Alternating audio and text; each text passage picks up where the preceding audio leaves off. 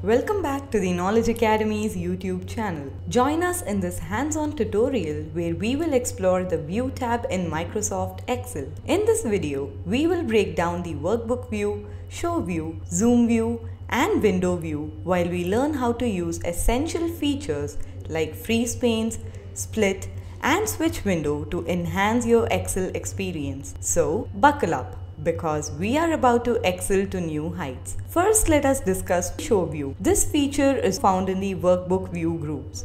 It gives you various display options for your worksheet. You can choose from Normal, Page Layout and Page Break Preview. Normal View is the default showing your sheet as you usually work with it. Page layout view displays your sheet as it would appear when printed, making it easier to format for printing. Page break preview helps you to visualize where page breaks will occur. Next up, we have the zoom view. This feature allows you to zoom in and out of your spreadsheet. You can adjust the zoom level by using the slider or entering a percentage. Zoom view helps you to focus on specific parts of your worksheet or get a bird's eye view of the entire sheet. You can find it in the View tab in the Zoom group.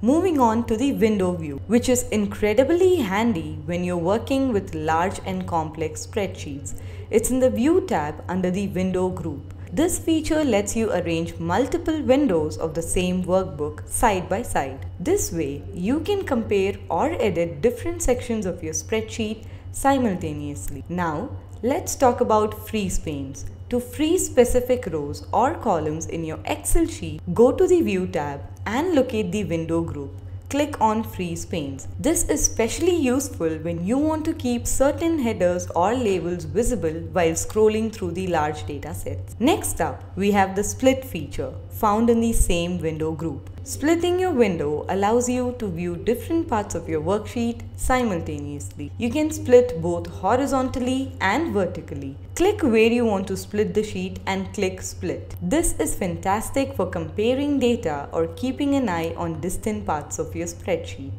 Switch window. Finally, let's explore switch window. In the view tab, head over to the window group and click on switch window. This feature is perfect when you're working on multiple Excel files. It lets you switch between open workbooks effortlessly. There you have it folks.